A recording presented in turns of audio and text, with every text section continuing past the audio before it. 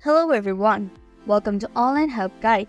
Today, in this video, I'm going to show you how to change password in LinkedIn account. So, without any further ado, let's get started. First, open up LinkedIn app. Click on your profile which is in the top left corner of the screen. Go to the settings.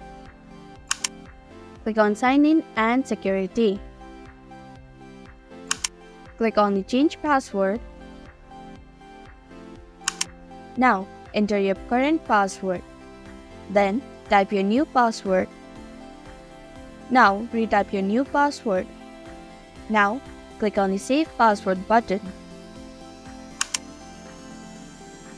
Now, your password has been changed. Thank you for watching Online Help Guide. Hope this video was helpful. If it was, then hit the like button and comment down if you have any questions or feedback. Also, if you are new to our channel, subscribe and hit the bell icon so that you don't miss our upcoming videos.